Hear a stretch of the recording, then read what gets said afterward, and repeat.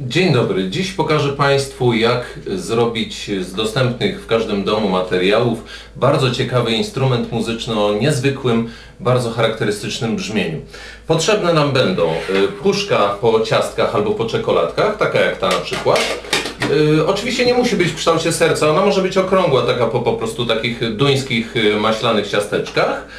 Będzie też potrzebna dokładnie wysuszona bułka, może być owalna, może być okrągła, to też nie gra roli dokładnie wysuszona, najlepiej na kaloryferze. Y, Korek y, z naturalnego korka koniecznie, y, taki z dębu korkowego.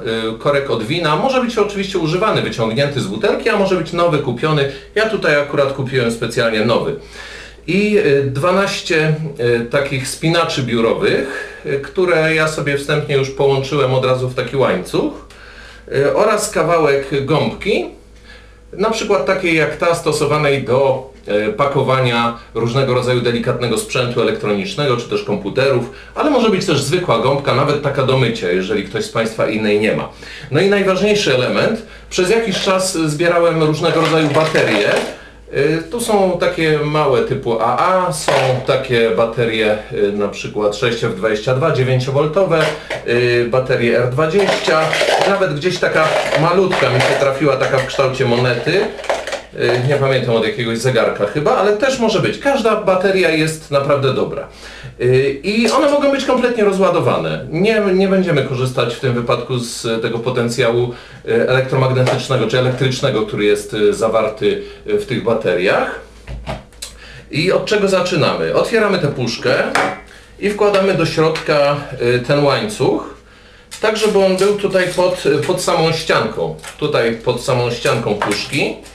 Następnie w to samo miejsce prawie tutaj y, pod ściankę wkładamy tę bułkę. Y, Nad bułką tutaj umieszczamy y, korek. On będzie duszą nas, naszego instrumentu. Jest ważne, żeby on był dokładnie, prawie dokładnie na środku. I następnie umieszczamy tam te baterie. Właściwie w dowolnych pozycjach. Tak, żeby pokryły nam całe dno tego instrumentu. O. O, o, o, o. Taka jedna warstwa po prostu. Tak jest, to już wszystkie.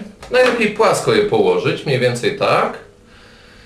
I teraz e, wkładamy, jeszcze raz prostujemy tę naszą duszę, czyli ten korek. E, Wkładamy gąbkę, tak że to wszystko nam się upakowuje. Bułka powinna być widoczna z tej strony. I zamykamy to pudełko. O, żeby nam to nie odskoczyło, bo ta gąbka mocno dosyć sprężynuje, e, zaklejamy to taśmą taką malarską. E, No ja akurat użyłem takiej, ale może to być dowolna zupełnie taśma, no nie wiem, Scotch Magic albo jakakolwiek inna taśma przezroczysta również. Chodzi tylko o to, żeby nam to nie odpadało w trakcie używania tego instrumentu. O, i jeszcze dwa. Najlepiej przykleić to w czterech punktach, zupełnie wystarczy. Chodzi naprawdę tylko o to, żeby ta gąbka nie rozsadziła nam od środka swoją sprężystością tego instrumentu. No i w zasadzie już jest to y, gotowe. Możemy y, wstępnie sobie coś na tym zagrać, jakąś wprawkę.